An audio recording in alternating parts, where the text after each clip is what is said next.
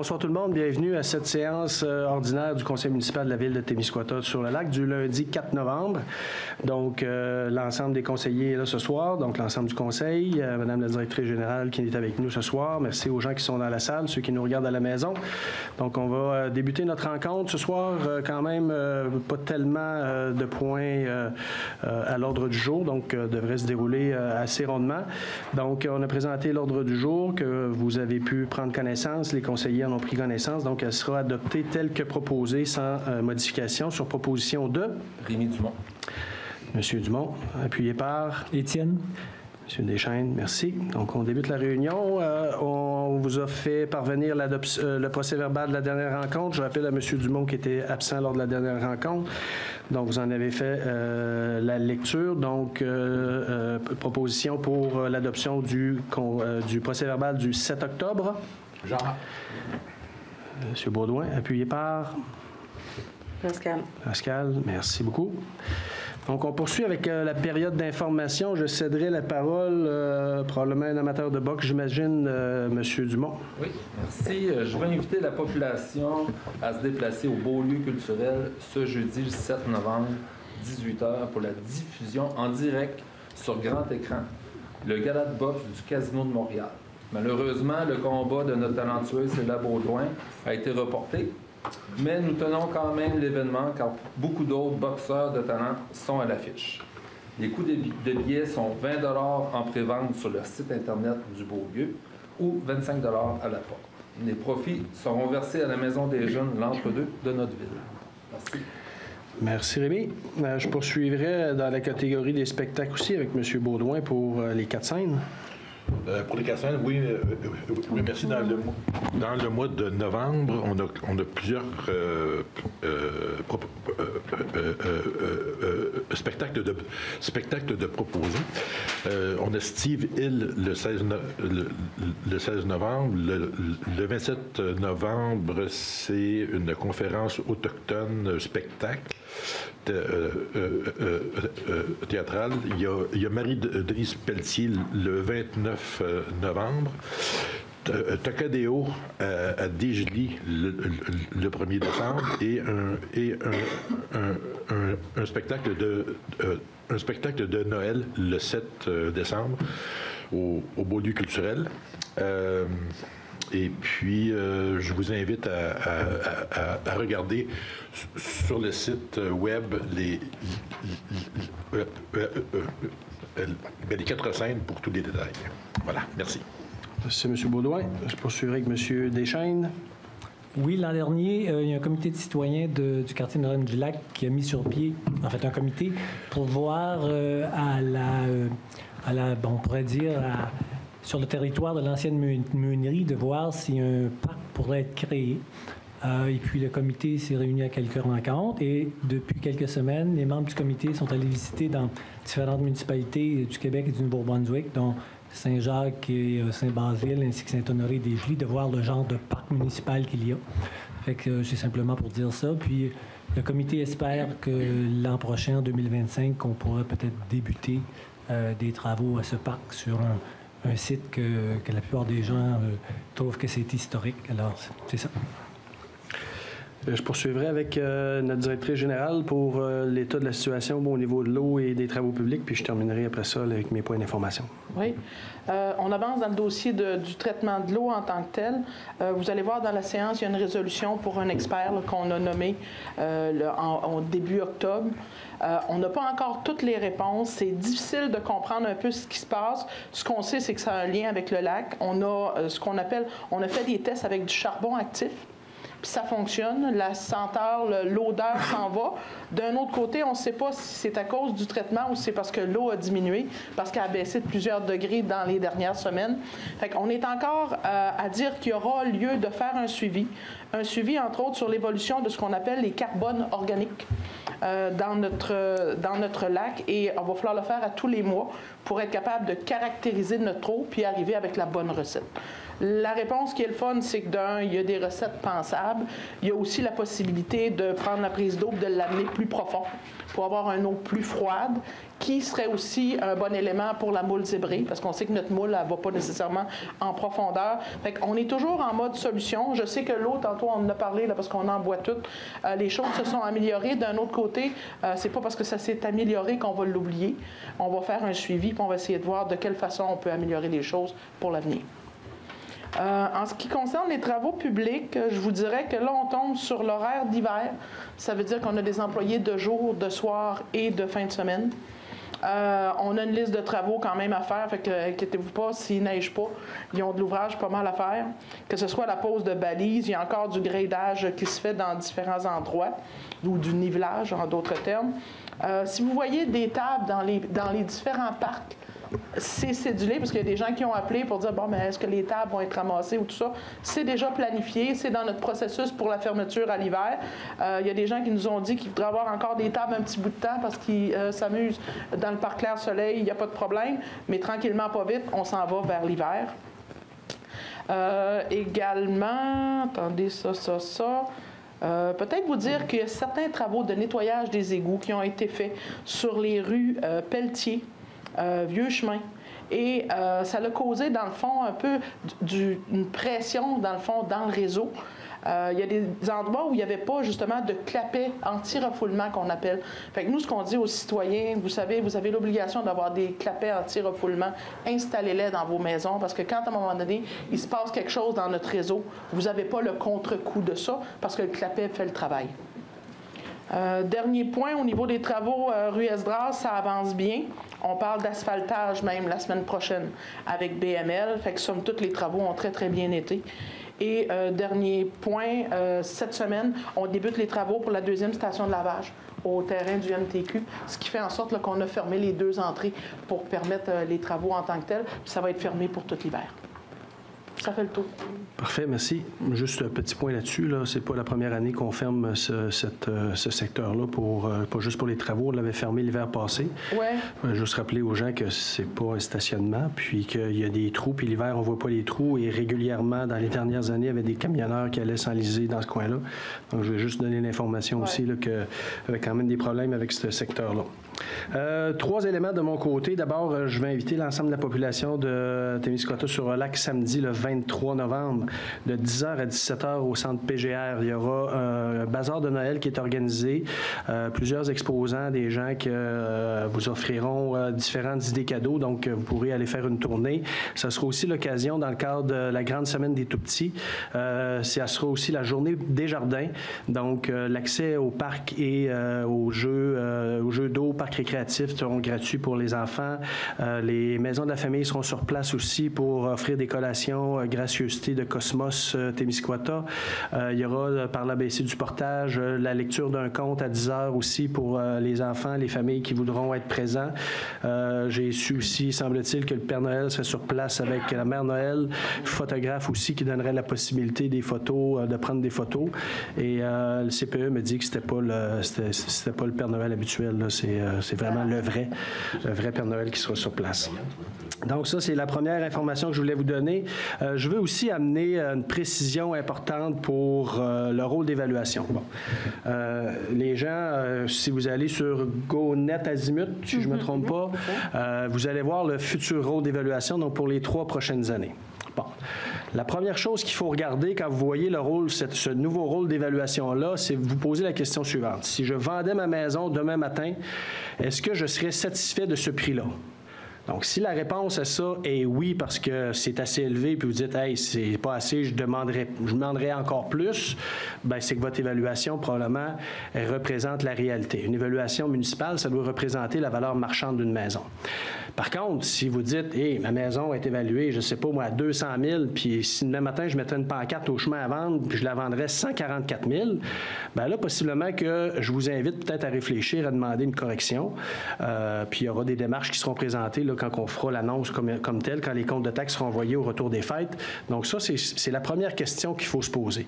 Parce que quand c'est trop élevé, puis on dit, ben je paye bien trop cher, euh, c'est bien trop évalué, ben il faut toujours regarder comment je vendrai ma maison. Si je suis satisfait du prix qui est là, puis je la vendrais même plus cher que ça, c'est parce que votre rôle devrait représenter une bonne réalité.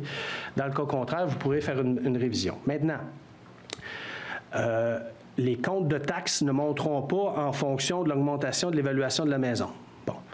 C'est certain qu'une municipalité, quand on fait un budget, j'ai besoin d'un apport de revenus d'une taille X. On va se dire, par exemple, 100 000 donc, si j'ai besoin des revenus de 100 000 la, la, répartition de la taxation va se faire en fonction de l'évaluation des maisons, puis on va faire un taux de taxe qui va nous rapporter, somme toute, aux alentours de 100 000 Quand le rôle d'évaluation change, puis que les maisons, ça double, ben là, c'est pas, je ne me retrouve pas avec une municipalité qui a besoin de 200 000 Donc, le taux de taxe va être à réfléchir puis va être ajusté en conséquence.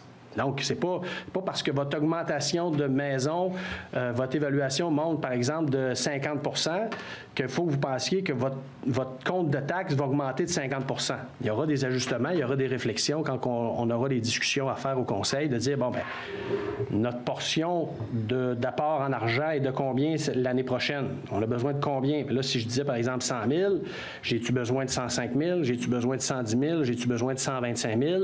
Et là, à ce moment-là, on va prendre l'apport des corrections de taxes, on va ajuster le taux de taxe, puis on va ajouter le compte de taxe en conséquence. Donc, je voulais expliquer ça brièvement avec cette image-là que je pourrais vous donner parce que, bon, on entend des commentaires. Et c'est sûr qu'il y a de l'inquiétude quand, la valeur de la maison euh, monte parce que là, on dit, il y a quel taux de taxe qu'on a, je multiplie ça avec ma nouvelle valeur, ça va être, ça va être l'enfer, je vais augmenter de 30 de 40% Donc, c'est pas comme ça qu'il faut le voir les discussions au niveau du conseil vont se faire. On va faire en fonction d'évaluer ce qu'on a besoin comme revenu. On va regarder le taux de taxation, les autres revenus, les dépenses, puis on va faire euh, l'ajustement du compte de taxe en conséquence pour l'an prochain. Donc ça, c'est ce que je voulais vous dire par rapport à ce qui a été inscrit là, sur GoAzimut. Et je vous rappelle, là, on vous donnera des indications pour les gens qui trouvent que leur évaluation est trop élevée puis qu'ils euh, se sentent euh, lésés là-dedans. Il y aura une démarche, vous pouvez faire une démarche, vous pouvez demander une, une révision auprès de Servitec. Et ça, c'est une firme indépendante. On pourra donner les détails aussi en temps opportun, comment que ça se passe par rapport à ça. C'est pas la ville qui fait les évaluations, c'est une firme qui est mandatée, donc euh, fait un rôle d'évaluation pour trois ans. Donc, ça, c'était les précisions. Mon dernier point concernera euh, les états financiers 2023. Donc, euh, juste vous mentionner, puis ça sera, je pense que c'est déjà publié sur notre page Facebook, euh, Cindy, je ne me suis pas encore. Je vais vous dire que la présentation des états financiers va se faire lundi prochain, le 11 novembre, pour la population en séance extraordinaire, 19h30, si je ne me trompe pas. Ah, je pense que c'est 19h. 19h? 19h, excusez-moi. 19h, oui, OK, c'est vrai, c'est le même, euh, même heure que la séance. Donc, euh, lundi prochain, le 11 novembre, présentation des états financiers pour 2023.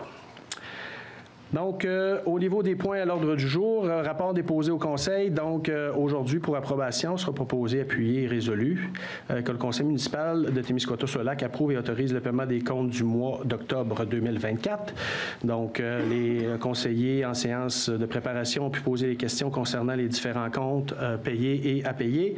Donc, pour les montants des comptes déjà payés, au montant de 451 092 et 55 et les comptes à payer au montant de 418 611 très exactement. Donc, euh, les comptes du mois sur proposition de... Rémi. Appuyé par... Marianne. Tout le monde est correct avec ça? Oui. Oui. Parfait. Dépôt, adoption des rapports budgétaires sommaires État comparatifs du 1er janvier au 30 septembre 2023, prévisionnel de l'ANCO. Donc, selon la, réglementation ou la loi de la Cité des Villes, si je ne me trompe pas, Chantal, on doit déposer au mois de septembre, au 30 septembre, euh, deux rapports euh, comparatifs. Donc, euh, un présente la situation, les prévisions budgétaires versus ce qui est dépensé jusqu'à jour. Et l'autre va présenter l'an passé par rapport à l'année précédente par rapport à l'année présente. Donc, attendu qu'en vertu de l'article 105,4 de la loi sur la cité et villes. Il est nécessaire de présenter lors de la dernière séance ordinaire du Conseil tenue au moins quatre semaines avant la séance du budget de l'exercice financier suivant doit être adopté. Euh, deux états comparatifs de la structure financière au Conseil municipal de la ville de Témiscouata-sur-Lac. Attendu que lors d'une année d'élection générale au sein de la municipalité, les deux états comparatifs sont déposés au plus tard lors de la dernière séance ordinaire tenue avant euh, que le Conseil ne cesse de siéger conformément à l'article 314-2 de la loi sur les élections et les référendums euh, dans les municipalités. Attendu que le premier état financier compare les revenus et les dépenses de l'exercice financier courant réalisé jusqu'au dernier jour du mois qui a été déterminé, au moins 15 jours avant celui où l'État est déposé et celui de l'exercice précédent qui ont été réalisés au cours de la période correspondante de celui-ci. Attendu que le second état financier compare les revenus et dépenses dont la réalisation est prévue pour l'exercice financier courant au moment de la préparation de l'État et de, selon les renseignements dont on dispose alors le trésorier et ceux qui ont été prévus par le budget dans l'exercice. Donc ce soir, sera proposé appuyer que le Conseil de ville de Témiscouata-sur-Lac approuve les deux états comparatifs revenus et dépenses. Donc sur proposition de, Pascal. appuyé par. Est-ce que tout le monde est d'accord avec ça? Oui. Donc, on poursuit avec euh, réflexion du centre de loisirs, reddition de compte final, programme d'aide financière pour le bâtiment municipal, euh, donc confirmation de fin des travaux. Donc ça, euh, pour ceux qui nous suivent, on avait eu une enveloppe euh, du temps de la pandémie de notre député à l'époque, M. Denis Tardy, au montant d'environ 179 000 Donc, comme c'est le cas quand on a de- des soutiens financiers comme ça, on doit présenter un rapport final de la fin des travaux. Donc, dans le cas qui nous concerne, juste pour vous rappeler, on avait fait une analyse des travaux euh, au mois de mars 2022 euh, de l'état du bâtiment au montant d'à peu près 21 000 Il y avait eu ensuite des documents techniques qui avaient été faits. Il y avait des travaux sur la dalle de béton. Il y avait du désamiantage qui avait été fait. Il y avait un réménagement intérieur de la cuisine qui a été fait aussi au printemps dernier. Donc, euh, coût total de la facture, euh, 213 564. Coût net, euh, 195 008 et 78.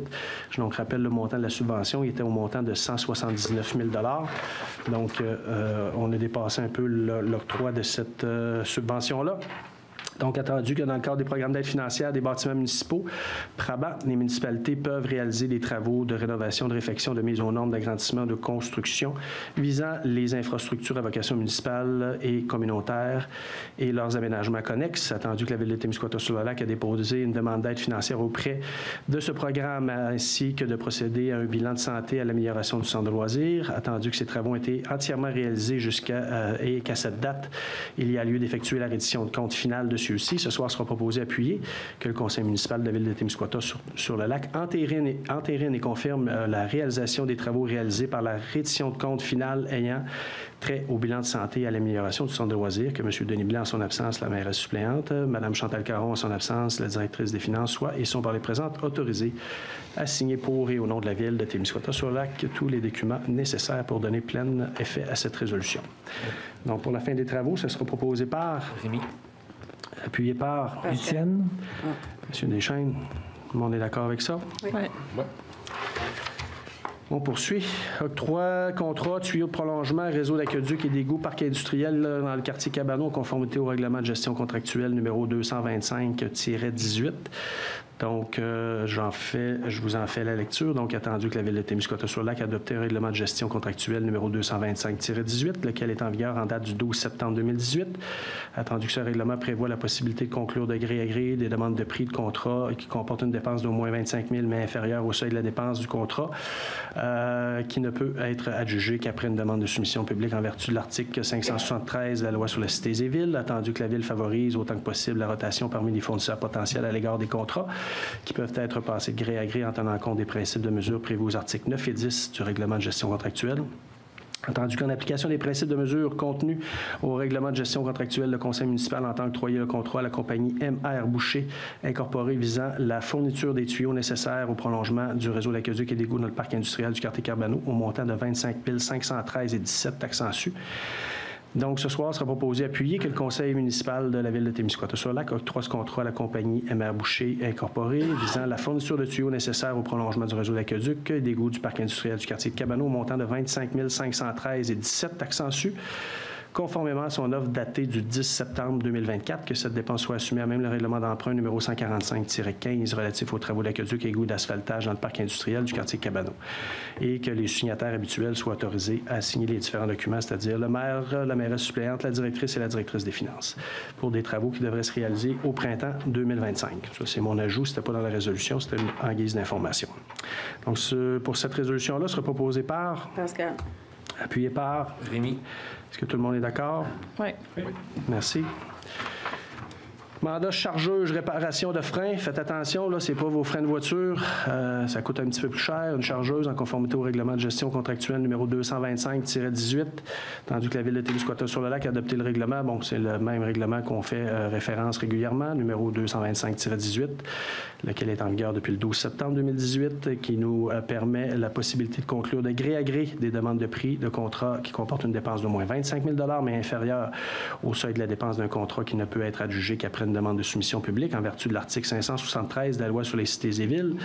Ensuite, que la Ville favorise aussi la rotation des contrats de gré à gré pour euh, favoriser euh, parmi nos fournisseurs potentiels, attendu qu'en application euh, des principes de mesure contenus au règlement de gestion contractuelle, le conseil municipal entend octroyer le mandat à la compagnie Brent Tractor Limited visant la réparation majeure des freins de la chargeuse numéro 53-08 au montant de 25 303 et 31, taxe en Donc, ce soir sera proposé. Appuyer que le conseil municipal de la ville de Témiscouata-sur-Lac octroie le contrat, le mandat à la compagnie Brand Tractor Limited visant la réparation majeure des freins de la chargeuse 5308 au montant de 25 303,31 taxes en conformément à son, offre excusez-moi, datée du mois d'août, de 30 août 2024 et que sa dépense soit, soit assumée à même le budget de l'année en cours. Et les signataires habituels, la directrice générale, le maire, la maire suppléante et la directrice des finances. Donc, proposé par pour euh, les freins de notre chargeuse. Jean-Marc. Second départ. Mayanne. Mayanne, tout le monde est d'accord avec ça? Oui. Bon. Donc, on est au renouvellement de la proposition de service au niveau de MaTV, Bas-Saint-Laurent, Vidéotron Limité, la diffusion des séances du Conseil pour la période du 1er décembre 2024 au 30 septembre 2025. Euh, question comme ça, Chantal, si on est au 30 septembre 2025, c'est qu'après cette date, le Conseil va être dissous, j'imagine, dans cause qu'on est en année Euh, d'élection? non, Euh, non c'est pour l'année financière de Vidéotron. OK, c'est bon, c'est pour leur année financière que ça finit à cette date-là. OK. Donc, euh, on a une entente évidemment avec MaTV Bas-Saint-Laurent euh, pour la diffusion des séances du Conseil municipal de Témiscouata. Est arrivé à échéance, donc attendu qu'il y a lieu d'établir d'établir une nouvelle entente avec l'entreprise de télédiffusion dans le but de maintenir la diffusion des assemblées mensuelles et de l'assemblée de la présentation du budget du Conseil de ville auprès de la population de Témiscouata-sur-le-Lac. Attendu que l'entreprise MaTV Bas-Saint-Laurent Vidéotron Limité a déposé une offre de service à la ville pour effectuer la production et la diffusion des séances du Conseil. Donc, ce soir, sera proposé et appuyé que le Conseil de ville de Témiscouata-sur-Lac accepte l'offre de service du télédiffuseur MaTV Vidéotron pour un montant de 400 par présentation, soit un montant de 4 740 taxes en su pour la période visée et que les modalités de l'entente sont décrites dans la proposition déposée le 24 octobre 2024 et que euh, les signataires habituels soient autorisés à signer cette entente-là et que cette entente soit effective pour la période du 1er décembre 2024 au 30 septembre 2025. Rémi Dumont propose. Oh, je suis- oh, vous êtes rapide sur les propositions. Vous voulez qu'on soit à la télé? Vous voulez qu'on soit à la TV longtemps? Vous voulez pas qu'on qu'on fasse comme certains conseils de, empêcher de filmer. Empêcher de filmer? Euh, juste pour ceux qui s'intéresseraient, euh, l'an passé, les tarifs étaient à 395 donc euh, 400 une très légère augmentation euh, qui nous est euh, demandée. On avait les propositions. Oui, c'était allé trop. Ouais. C'était allé, allé vite, oui, c'est beau. On est au COVID. Vous me déstabiliser. Euh, mandat euh, Veolia, Veolia Water Technologies. Problématique d'eau potable, on en a parlé tantôt, on est bien au fait de la problématique. C'est sûr que on est conscient qu'il y a encore des goûts pour certains, qu'il y a encore des odeurs. Oui, c'est sûr, on est en train de travailler sur le dossier. Donc, ce soir, il y a cette offre de service-là qui date, euh, euh, qui sera conformément, selon l'offre, datée du 7 octobre. Donc, attendu que la Ville doit procéder à une investigation au niveau de l'odeur de l'eau potable ainsi qu'une formation, euh, qu'à une formation de perfectionnement pour les équipements en place à l'usine. Attendu qu'il y a lieu de mandater une firme afin de compléter ses mandats. Attendu que la firme Vio- Veolia Water Technology a déposé une offre de service afin de compléter ce mandat en date du 7 octobre. Ce soir sera proposé, appuyé résolu que le conseil municipal de la ville de Témiscouata-sur-Lac mandate la firme Viola Water Technology pour effectuer ce mandat et ce pour un montant approximatif de 5 960 taxes en su, conformément à son offre datée du 7 octobre 2024. Et comme habituel, les signataires habituels, le maire, la mairesse suppléante, la directrice générale et la directrice des finances. Rémi Dumont propose. Monsieur Pascal Dumont. Merci, Monsieur Raymond. Pascal, tout le monde est d'accord avec ça? Oui. Excellent. Donc, euh, cette année, euh, pour l'Arena Cascade, euh, nous aurons euh, les services d'un traiteur euh, qui offrira là, les, les le menu. Donc, service de Julia Traiteur. Donc, on a une entente qui est finalisée avec Julia Traiteur, si je ne m'abuse, de Saint-Louis. Donc, attendu, l'offre lancée par la ville de Témiscouata-sur-Lac visant l'obtention d'un service de traiteur pour son espace de restauration situé à l'Arena Cascade lors des événements majeurs qui auront lieu durant la saison hivernale 2024-2025. Attendu que Julia Traiteur a manifesté son intérêt à offrir le service et qu'il y a lieu de définir les modalités en termes d'une entente à intervenir entre les parties. Alors, ce soir sera proposé et appuyé que euh, le maire, ou en son absence, le maire suppléant, la mairesse euh, suppléante, euh, la directrice générale, la directrice des finances, en son absence, soient autorisés à signer pour et au nom de la ville de Témiscouata sur le lac le dit bail immobilier à intervenir entre les parties ainsi que tous les documents nécessaires pour donner plein effet à cette résolution. Donc, sur Pascal. Mayanne. Pascal. Mayanne, merci. Tout le monde est d'accord avec ça? Oui. Merci. Embauche personnel préposé, infrastructures récréatives, sportives et touristiques. Donc, Arena, euh, M. Martin Poirier et M. Réal Clavet, pour les gens qui auraient des questions, qui diraient, par exemple, euh, ça me semble que ça fait plusieurs qu'on passe aux infrastructures sportives. Il faut que vous sachiez a quand même un roulement euh, au niveau de ce secteur-là. Les deux employés qui étaient là, un euh, nous a quittés euh, pour euh, différentes raisons, euh, une disponibilité entre autres. Donc, les deux employés euh, qui nous ont quittés seront remplacés. Euh, depuis le 28 octobre, on parle de M. Martin Poirier et depuis, euh, au- en date du 11 novembre, parce qu'on n'est pas encore le 11 novembre, M. Réal Clavet. Donc, euh, aujourd'hui, il sera proposé l'embauche de ces deux personnes-là et que le conseil municipal là, procède à l'embauche des employés suivants à titre de préposés aux infrastructures récréatives, sportives et touristiques. Rémi propose. Monsieur Dumont, Pascal. parfait. Tout le monde est correct avec ça? Oui. Excellent. Auto- autorisation d'une signature d'entente de partenariat de la MRC avec Circonflex Témiscouata. Je vous lis la résolution, je donne l'information par la suite. Donc, attendu que la MRC de Témiscouata est fiduciaire du projet Circonflex Témiscouata, lequel vise à l'implantation de centrales de prêt d'équipements de sport et de loisirs et de plein air et à ce titre gratuit.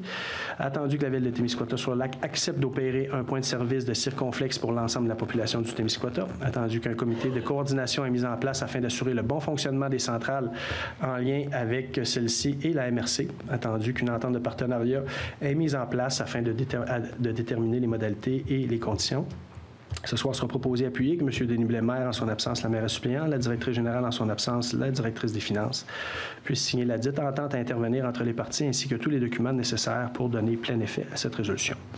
Donc, on va, on va procéder à la, la- la- à la résolution, si vous le permettez, proposée par, Jean-Marc.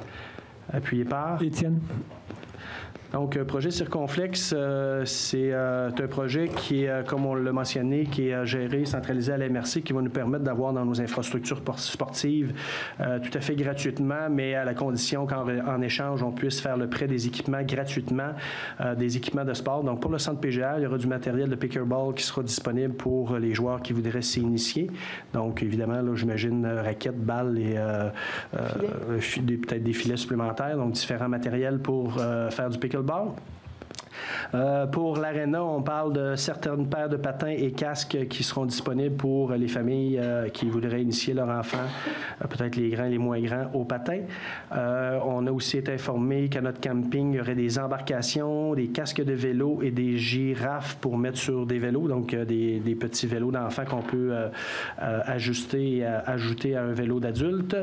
Et au niveau du centre plein air de Cabano, il y aura aussi un nouveau lot de raquettes qui sera disponible, quelques fight bikes, euh, des skis Hoc. Donc, euh, c'est un, ski spécial qui permet, semble-t-il, de autant monter les pentes comme un peu une raquette pourrait le faire et permet de faire une descente un peu euh, sous la forme de ski. Donc, c'est du matériel qui sera rendu à la municipalité, comme je vous dis, aux différents endroits que je vous ai mentionnés et qui sera offert gratuitement pour prêt par les organisations qui gèrent ces endroits-là. Donc, euh, prochaine résolution, servitude d'utilité publique, motel royal et pub du lac. Donc, euh, comme vous le savez, à l'été 23, euh, nous avons eu des pluies torrentielles à quelques reprises, dont une, euh, situation où il y a eu un débordement très important. Donc, euh, entre autres, qui ont nécessité les travaux au niveau de la rue Esdras, mais au niveau de la rue de la plage, il y a eu des bris très importants. Donc, évidemment, on avait un ruisseau qui se trouvait à passer sous un bâtiment du Motel Royal qui a été déplacé dans le, cadre des travaux. Et ce nouveau dessin-là qui, qui fait en sorte qu'il y a un nouvel emplacement pour le ruisseau, donc doit euh, aussi être, euh, euh, je dirais, réglementé par une entente de servitude d'utilité publique. Donc, ce soir, attendu que la servitude d'utilité publique doit être établie face aux propriétés situées au 19 rue Saint-Louis, donc entre parenthèses le Motel Royal Inc. et le 59 rue de la Plage qui se trouve être le pub du lac, afin de permettre l'entretien ou l'emplacement des tuyaux souterrains existants d'aqueduc et d'égouts sanitaires ainsi que pluvial, attendu que la servitude requise sera d'une largeur de 7 mètres, attendu que les lots visés par cette servitude portent les numéros suivants, donc le 6 403 847, euh, partie du Motel Royal, et le 2 616 650 partie et 600, euh, excusez, 6 403 846 en partie euh, propriété du Pont du Lac. Donc, ce soir sera proposé et résolu que le Conseil de ville de Témiscouata sur le lac mandate la firme BMB Notaire afin d'établir l'acte de servitude dans ce dossier et que la description technique de ces lots a été effectuée par M. Samuel Dubé, arpenteur géomètre, que les frais de notaire et d'arpentage soient à la charge de la ville et, comme c'est le cas habituellement, autorise les signataires habituels à signer tout document nécessaire pour donner plein effet à cette résolution. Denis Dumont propose. Monsieur Dumont, Pascal. Pascal, parfait. Tout le monde est d'accord avec ça. Donc, on sera à nouveau plan de, certitude- nou- nouveau plan de servitude pour euh, ce, ce nouveau euh, trajet-là du ruisseau. Euh, soyez pas surpris si ça vous rappelle quelque chose. À la dernière séance, on avait demandé l'autorisation à la CTPAQ pour les carrières du B et Fils Inc. sur le lot 2 616 404. Il y a une correction qui doit être apportée, donc la résolution nous a été retournée avec une demande de, correction. Dans la précédente, on parlait d'une euh, euh, carrière, alors qu'on aurait dû lire une gravière sablière située sur une partie du lot 2 616 404. Donc la résolution est tout à fait la même, sauf qu'on doit vraiment y lire qu'une demande porte sur l'exploitation d'une gravelière, d'une gravière et sablière. Donc, euh, euh, sur proposition de Ginette. Chinette. Jean-Marc? Oui. Parfait. Monde est correct avec ça? Oui. On a euh, une, deux, trois, quatre, cinq. On a cinq demandes de dérogation euh, mineures. Euh, la majeure, ben, je dirais pas la majeure, mais la totalité de ces demandes de dérogation-là, comme c'est le cas euh, des demandes qui ont été passées au comité consultatif d'urbanisme, sur lesquelles on a habituellement des propositions, soit d'accord ou de désaccord. Dans l'ensemble des, des, des situations qui nous concernent ici, on parle euh, euh, marges de recul, donc euh, les bâtiments qui ne sont pas nécessairement euh, situés au bon, au bon endroit. Pour certaines, c'est c'est pour régulariser une vente. Pour d'autres, c'est des projets d'ajustement de construction. Donc, je vais essayer de ne pas trop vous perdre là-dedans, mais il faut savoir que euh, quand on vend une maison, puis qu'on n'a pas nécessairement demandé permis pour construire, par exemple, un cabanon, puis on l'a installé trop proche de la ligne, alors qu'on devrait, par exemple, respecter une telle distance, euh, il n'y a pas nécessairement des demandes de permis qui sont toujours faites. Il y a des fois, il y a des demandes de permis puis qui ne sont pas respectées non plus. Donc, je profite de l'occasion parce que je- suis convaincu qu'il y a des gens ici dans la salle puis du monde à la maison qui nous disent c'est des maudites demandes de dérogation-là. Là, il y en a donc bien puis il y en a tout le temps. Ce qu'on demande aux gens, c'est quand vous avez des travaux à faire, que ce soit l'ajout d'un bâtiment, vous devez, puis je, dirais règle générale, quand vous faites des aménagements, il y a un permis à demander à la ville. Donc, venez prendre l'information, on va vous guider, et c'est évidemment de respecter les demandes qui sont faites. Parce que quand vous pour vendre un bâtiment, vous avez euh, presque obligatoirement des certificats de localisation à fournir aux nouveaux acheteurs. Puis quand les certificats de localisation ne sont pas conformes avec ce qui est à la municipalité, bien là, c'est là qu'il y a des demandes de dérogation, souvent pour vendre d'immeubles. D'abord, ça va vous coûter un prix parce que c'est pas gratuit, les demandes de dérogation. Là, Chantal, c'est euh, la, la tarification de ça, c'est quand même, 450? c'est quand même assez 400? dispendieux. Là. 400? 400 dollars.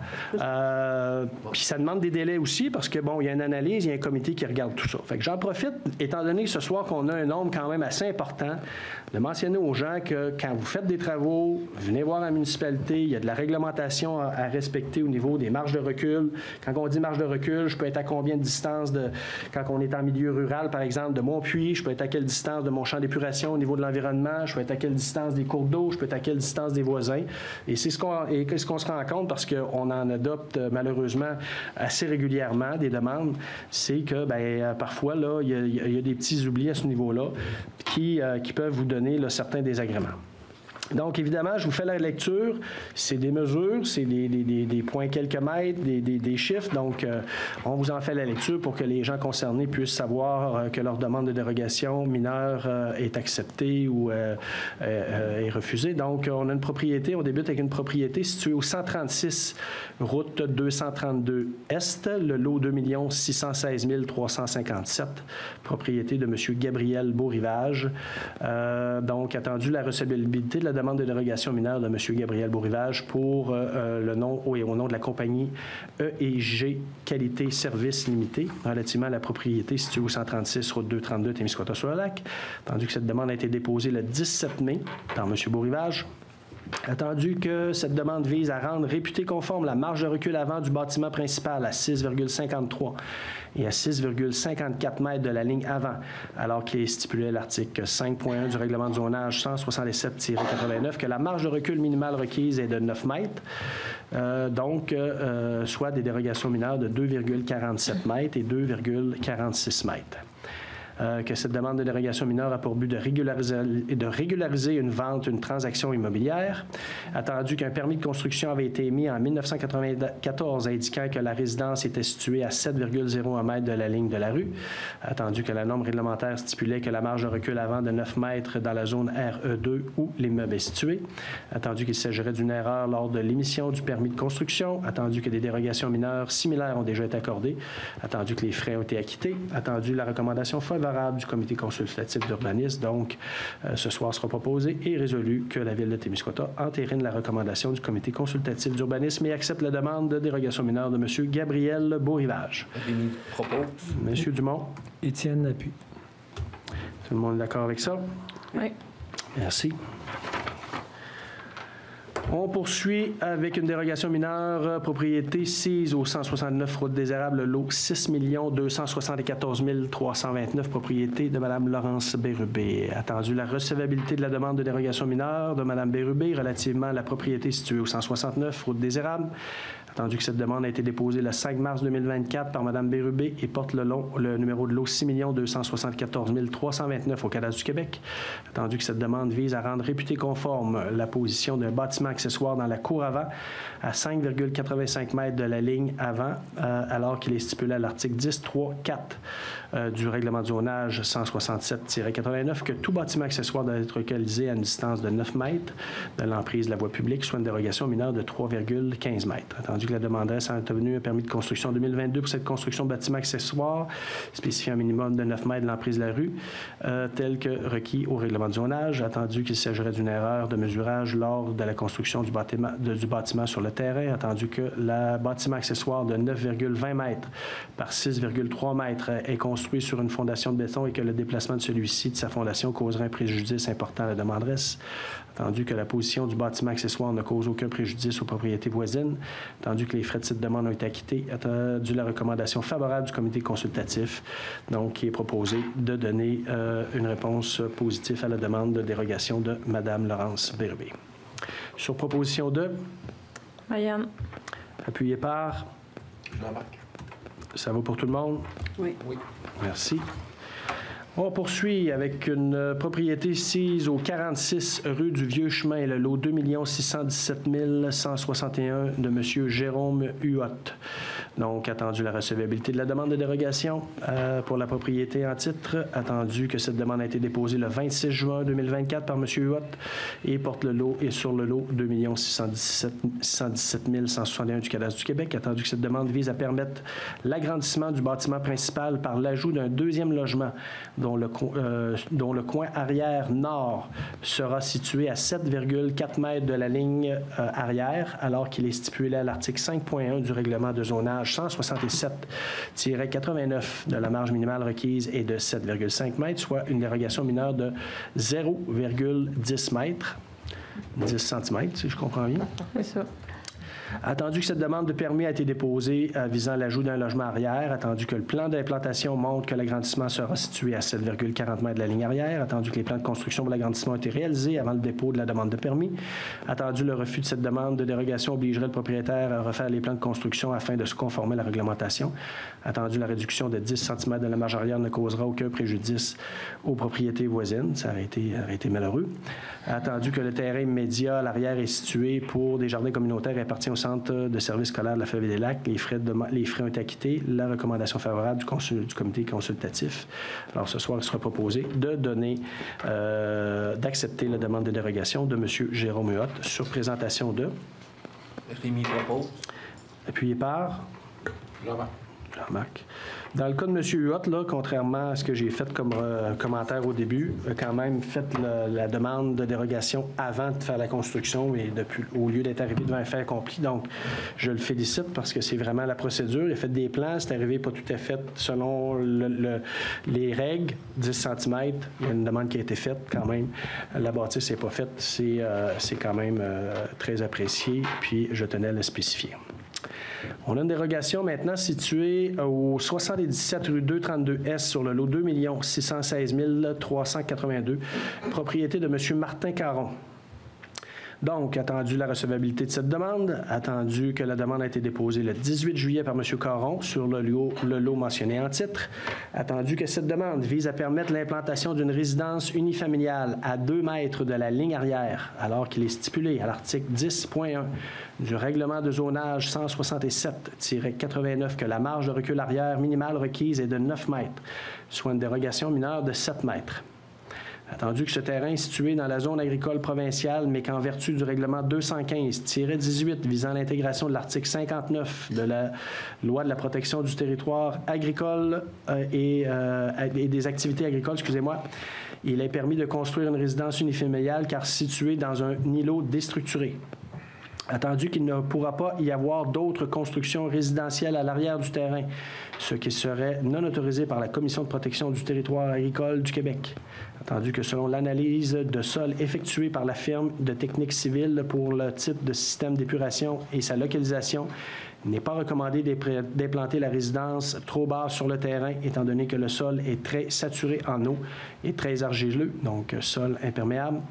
Attendu que cette demande ne porte pas atteinte aux droits de propriété voisins, considérant que ceux-ci sont très éloignés, attendu que les frais ont été acquittés par le demandeur, attendu la recommandation du comité consultatif, ce soir sera proposé, appuyé que le conseil municipal de Témiscouata-sur-le-Lac entérine la recommandation du comité consultatif et accepte la demande de dérogation de M. Martin Caron. Sur proposition de, Marianne. appuyé par, Rémi. ça va pour tout le monde? Oui. Parfait. Dernière demande de dérogation, euh, mineur propriété 6 au 10 rue de l'Église, le lot 4 764 197 de M. Gilles Garon, service financier Garon et associés incorporés. Attendu la recevabilité de la demande de dérogation mineure de M. Gilles Garon au nom de service financier Garon et associés relativement à la propriété située en titre. Attendu que cette demande a été déposée le 5 février 2024 par M. Garon et porte sur le lot mentionné en titre. Attendu que cette demande vise à rendre réputée conforme la marge de recul avant du bâtiment principal existant à 4,35 mètres de la ligne avant de la marge de recul arrière à 5,80 5,91 mètres de la ligne arrière, alors qu'il est sti- stipulé à l'article 8.1.2 du règlement de zonage 06-90 que la marge de recul euh, avant minimale requise est de 9 mètres et la marge de recul arrière minimale est de 6 mètres, soit une dérogation euh, mineure respective de 4,5 mètres et de 0,9 mètres. Attendu que cette demande de dérogation a pour but de régula- régulariser une transaction immobilière. Attendu que le bâtiment principal bénéficie déjà d'un droit acquis pour l'implantation à 4,51 de euh, excusez, 4,51 mètres de l'emprise de la rue de l'église, étant donné la construction antérieure au règlement de zonage 06-90. Attendu que cette demande de dérogation est très minime concernant euh, le marge de recul arrière et ne porte pas atteinte aux droits de propriété des voisins. Les frais ont été acquittés. La recommandation favorable du comité consultatif. Donc, euh, est proposé et résolu euh, de donner euh, euh, l'acceptation de la, la demande de dérogation de M. Gilles Garon pour les services financiers Garon et Associés. Sur proposition de, Pascal. appuyé par Ginette. Mme Mégin. Tout le monde est d'accord avec ça? Oui. Merci. On termine avec euh, une réglementation, euh, numéro de règlement 336-24, amendant le règlement numéro 101-14, règlement général sur les affaires de la municipalité. Donc, on vous avait déjà fait part dans une séance précédente euh, au niveau des interdictions de stationnement sur la rue commerciale sud et de l'église. Donc, ce soir sera proposé, appuyé, que le conseil municipal de la ville de Témiscouata-sur-le-Lac adopte le, le nouveau règlement numéro 336-24, amendant le règlement numéro 101-14, règlement général des affaires de la municipalité. Le but de ce règlement est de modifier l'annexe A afin d'y ajouter des interdictions de stationner sur la rue commerciale sud et de l'église. Rémi propose. Appuyé par. Est-ce que tout le monde est d'accord avec ça? Oui. Parfait.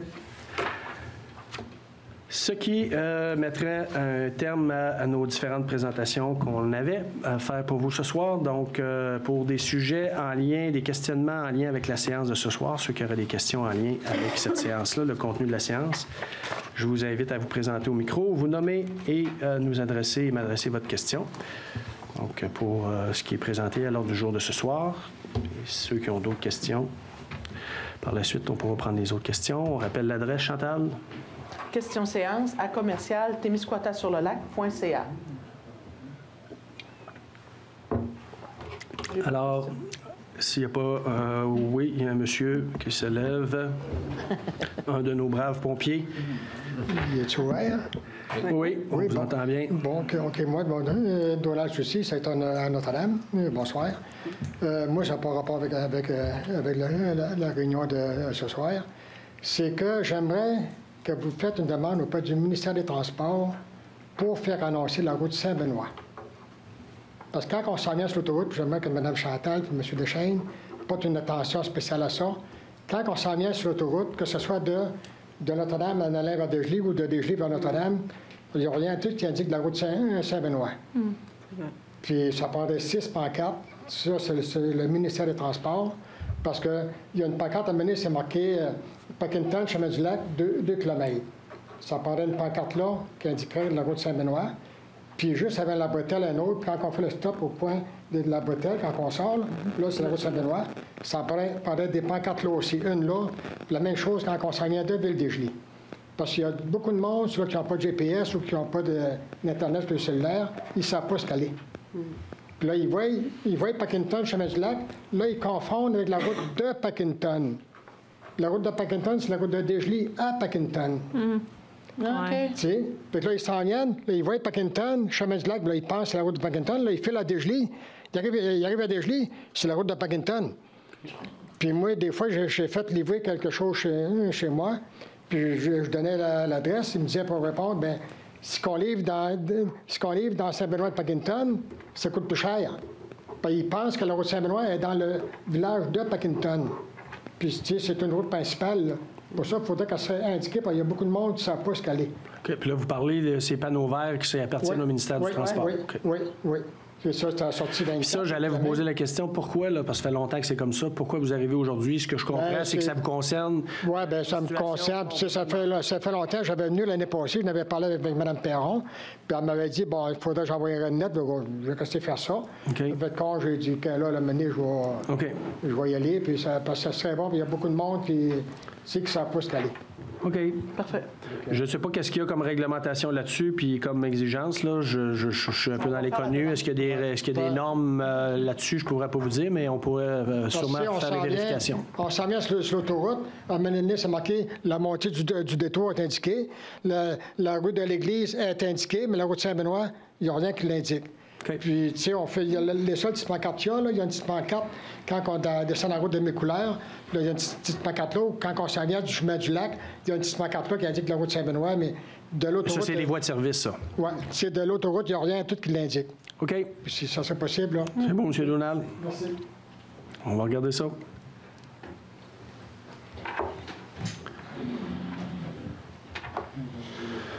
Bonsoir, Gaston Ouellette, quartier Notre-Dame. Euh, question sur la prise d'eau. Avant de faire les, expertises avec la firme, est-ce que ça n'aurait pas été intéressant d'envoyer un plongeur au bout de la prise d'eau dans le lac où ça a-tu été fait? Oui, c'est fait déjà ça. été fait. C'est fait, puis on Il y attend a un toujours. plongeur qui est allé. Oui, on a demandé un rapport pour la prise d'eau pour tout ce qui concerne la moule zébrée. On est en partenariat avec euh, Cascade qui a aussi sa prise d'eau. On vous avait déjà parlé de ça. Il y a quand même quelques séances de ça. Je me rappelle pas le nom de la firme qui est en train de faire l'expertise de tout ça. Puis euh, il y a un rapport qui va nous être émis, là, mais c'est toutes des choses qui ont été déjà faites. Là, des plongeurs qui sont allés voir la prise d'eau, la profondeur, puis la, la situation de tout ça. Parce que quand on a fait pour le quartier Notre-Dame, avec, avec l'eau, euh, le pipeline, euh, il y avait des questions dans ce temps-là de revoir la prise d'eau du lac. Pas si vous vous souvenez de ça, parce qu'il avait été dit, oh, elle sera pas assez profonde, puis on peut avoir des problèmes avec ça. Fait que là, on est là, puis les problèmes sont On est, là. on est en expertise. Ouais. Les plongeurs, est-ce qu'ils faisaient partie de la firme, eux autres? Euh, non, nous, on a plongé deux fois pour aller voir les photos, filmer, OK. puis il y en a. Euh, c'est pas majeur dans le sens que le tuyau est quand même assez gros, fait que Oui, c'est oui. pas inquiétant aujourd'hui, mais il va falloir nettoyer. Euh, ça, c'est une chose. Un coup que le plongeur passe, lui, il envoie ses données. Après ça, c'est un autre film. C'est pas très. euh, comment ça s'appelle, non? Je me souviens plus du nom. Mais en tout cas, c'est un autre film. C'est la seule à peu près qui est spécialisée dans la moule zébrée. Euh, c'est eux qu'on a pris pour faire. On a donné un mandat quand même euh, conjoint avec Cascade. Euh, c'est assez compliqué quand même, mais on va avoir le rapport final. On devait l'avoir fin octobre, mais la personne qui le faisait a été malade. Parce que Fait que- la prise d'eau, c'est la prise d'eau seulement pour Témiscouata sur le lac, ça. Oui. Fait que la demande, vu qu'on alimente un autre quartier avec cette prise d'eau-là, c'est sûr que l'environnement du fond du lac est plus pareil. La demande est beaucoup plus grande pour la prise d'eau. Fait que d'après moi, ça brasse beaucoup le sédiment. Fait que c'est pour ça que on a... Rendu là, on va laisser les spécialistes Ouais. euh, nous dire quoi faire. OK, c'est bien. Euh, concernant le centre des loisirs, est-ce qu'il y a une autre subvention éventuellement qui va être demandée pour continuer les rénovations ou on arrête ça là? Ben, on est en période de budget, comme vous le savez, M. Ouellet. On est en train de Ouais. finaliser les états financiers 2023 qui sont attendus avec beaucoup d'impatience et qu'on va attendre de livrer la semaine prochaine. Je vous ai dit qu'on vous livrait ça le 11 de, de novembre. Puis suite à ça, on va parler du budget. Puis dans les discussions de budget, bien, il y aura des discussions sur ce qu'on fait dans nos euh, dans, dans notre, ce qu'on appelle notre PTI, notre plan triennal des infrastructures. Puis il y aura des choix à faire, puis des orientations à donner, puis le conseil aura à se positionner là-dessus. Que, Mais ça- votre objectif, c'était-tu de continuer les rénovations ou en faisant une demande de subvention ou on dit, bon là, on va essayer ça de même pour un bout de temps parce qu'il y avait des questions du chauffage. Euh, je ne sais pas Ben, si... il y a des règles à respecter là, pour le chauffage, la, Ouais. la- la tank à l'huile, puis tout ça. Il y aura des choses qui seront éventuellement comme plus peut-être obligatoires à faire. là. Mais pour ce qui est de du, du plan de, de- de travail, on en a discuté encore lors de notre dernier plénier. là. Donc, on aura des discussions à faire là-dessus pour voir la suite des choses qu'on a là-dessus. Mais euh, lorsqu'on vous présentera les états financiers de 2023 aussi, ben, ça fera partie des réflexions qu'on aura à faire là, avec le centre de loisirs. On fait quoi avec le centre de loisirs? Exact. Parce que, tu sais, euh, faut, faut, faut, faut aussi être cohérent avec. euh, on a beaucoup de dettes, puis on, on a besoin de faire attention à nos sous. Comment on les investit, il va falloir qu'on le réfléchisse tout le monde ensemble. Puis, on vous l'avait dit au dernier, au dernier budget l'an passé qu'on va avoir des choix à faire, puis on aura des choix à faire. OK. On pourra peut-être mettre en vente le CPR, le PGR. Ça sera des choix qu'on a à faire. Ou le centre de loisirs, Mme Bégin, si vous voulez jouer Oui, là-dedans. ou le PGR. Ou, euh, Parce que là, vous débordez un peu de la situation. Ben, c'est vous qui débordez, ma- c'est vous qui débordez, Mme Bégin. On parlera de ça en OK. réunion. Euh, concernant le comité d'urbanisme, euh, Rémi est sur le comité, puis moi aussi, euh, on avait déjà demandé pour les réunions de l'urbanisme d'avoir des dates établies d'avance. Mettons une fois par mois, pas arriver au bout de deux semaines, oh, ben, on a une réunion de l'urbanisme, puis un autre deux semaines, une autre réunion. Ça, ça aurait été le fun qu'on ait une cédule à tous les mois pour les réunions de l'urbanisme. Mercredi, on a une rencontre, on pourra le demander. Ouais, ben là, c'est ça, mercredi, je pourrais pas être là, là, mais. On peut le demander. Oui, on avait déjà demandé antérieurement. Puis ça serait le fun parce que c'est bien beau qu'on est retraité, mais on n'est pas tout le temps disponible pour être sur l'urbanisme. Fait qu'avoir des réunions fixes au mois, ça serait intéressant. Puis je pense qu'il faut vraiment que ce soit discuté en comité. Ben oui. Parce que Oui, oui. c'est selon. Parce qu'au départ, il y a eu la demande. Moi, je n'avais jasé avec les, les urbanistes, puis ils ont dit nous autres, ça dépend plus, les gens sont disponibles. Fait qu'en fin de compte, il faut que ça revienne au comité, puis qu'on dit nous autres, ce qui nous adonne le mieux, c'est le mercredi. Puis, on- puis je trouve l'idée bonne, dans, parce qu'on était tous d'accord pour dire ça en prend une par mois, mettez toutes vos demandes là, puis on les C'est ça, exact. Merci. OK. Fait qu'il faut en reparler en comité consultatif. Mercredi. Oui, mercredi.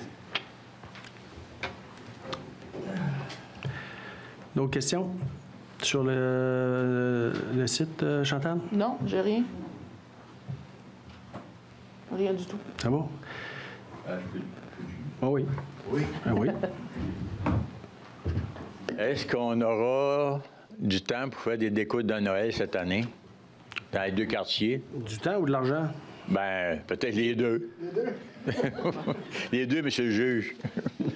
Euh, on a discuté tantôt au plénier. Il y a eu des Ah, demandes qui ont été faites là-dessus, puis il y a déjà des, euh, des- déjà des demandes qui ont été envoyées euh, aux, aux travaux publics puis au L'équipe l'équipe du PEV va se mettre là-dessus. Puis Ouais. on a un petit peu de L'équipe sous- du? Du PEV, Parc et Espace Vert. C'est eux autres qui s'occupent des, des décorations.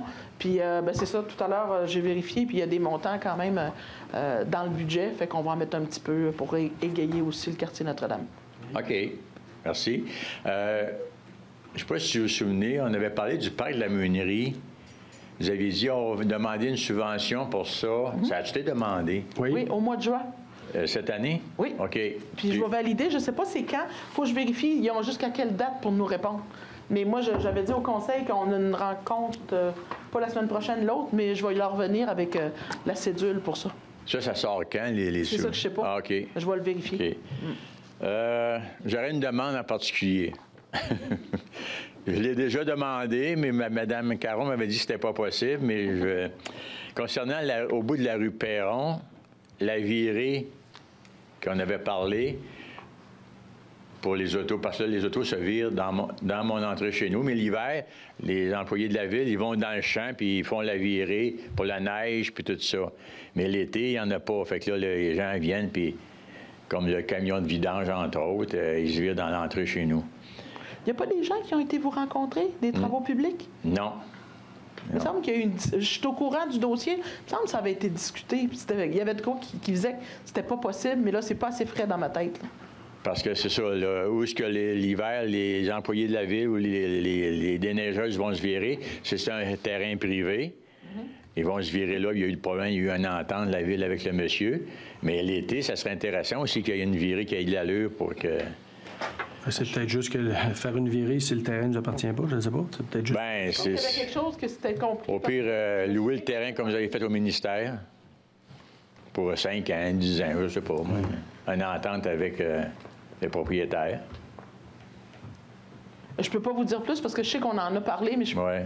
Ouais, Au je- pire, euh, revenez-moi avec ça. je vais vous appeler direct. Ça va être simple. Oui? Ouais.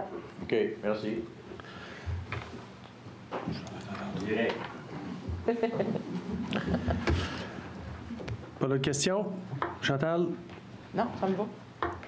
Alors, s'il n'y a pas d'autres questions, à 8h, euh, 7h55, euh, la levée de l'Assemblée sur proposition de, Étienne, appuyé par Ryan. Rémi. Merci. Belle fin de soirée, tout le monde. La semaine prochaine, 11-19h pour les états financiers 2023.